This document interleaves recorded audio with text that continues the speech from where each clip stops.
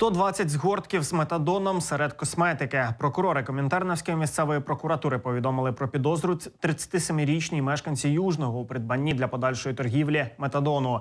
Наркотики вона, начебто, отримала поштовим відправленням та далі мала передати їх іншій особі за грошову винагороду. Всього в партії були 120 розфасованих пакунків.